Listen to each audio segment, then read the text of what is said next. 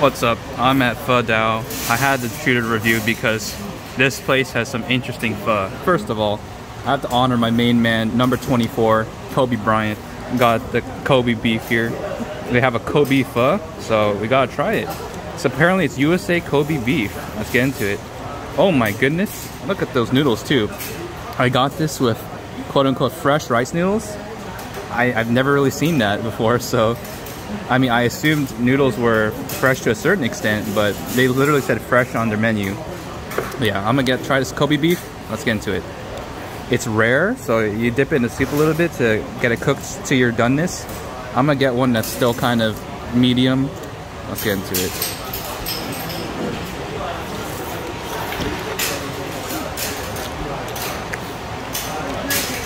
That's some good beef. I don't know if it's placebo, because I know it's my main man, Kobe Bryant, but I feel like it tastes slightly beefier than your normal beef at pho restaurant. Because sometimes when you slice that steak, it's super thin. It doesn't really taste that beefy, but this just tastes super beefy. I don't know. Like, it kind of tastes like you cook your own steak. That's the kind of vibe I'm getting from this Kobe beef.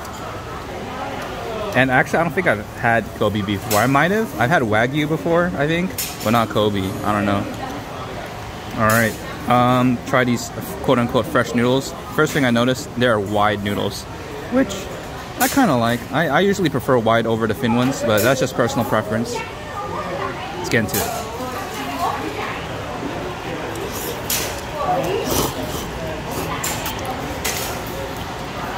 I don't really taste the difference between fresh and dried, or I don't really know the difference, but these noodles taste pretty good.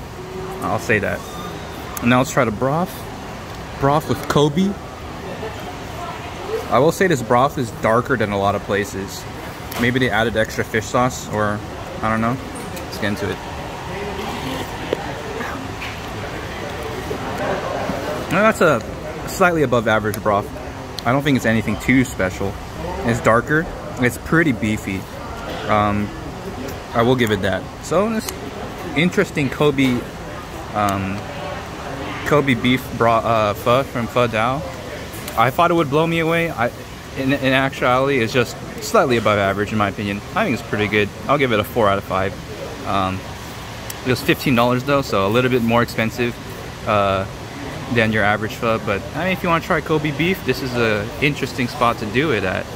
Um, I got a couple people here with me today. Uh, we got Lo here putting the hoisin directly on the noodles. What do you think? I'm really hungry and I haven't had pho in a long time, uh -huh. so uh-huh. I'll give it a 5 out of 5. Okay, 5 out of 5. What about you, Chow? Oh. I'm modeling my man Kobe Bryant as well. Kobe beef is pretty good, and I like the thick noodles. You get the thin noodles to plus, mm. the thick noodles are pretty good and they get more flavor. What would you do if they had Kobe beef meatballs? I would get that every time. I didn't have any deep positives, with but I want to try doing this. All right. And last, we got Jeff here. What do you think about Pho Dao here? I I actually haven't had the Kobe. Mm -hmm. I get their like normal combos. Yeah. I really like the meat and the normal combo there. Mm -hmm. I think mm-hmm. it's one of the, the best. Nice. In the area. All right. That's been the main man WingDrops at Pho Dao. I will say it is like 90 something degrees in here. So I'm just gonna end the review here. We're done here.